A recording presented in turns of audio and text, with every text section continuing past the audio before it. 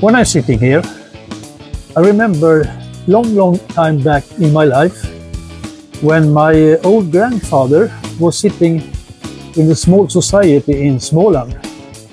And uh, he was sitting on the top of a big slope and he was looking down about 20-25 meter where he had his uh, beehives which was his big friends in life.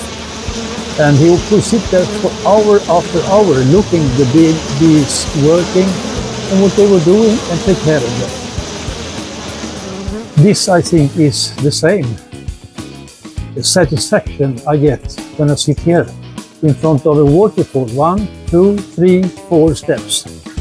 And uh, especially when I see that uh, mist uh, from a mist machine I bought uh, about 14 days ago.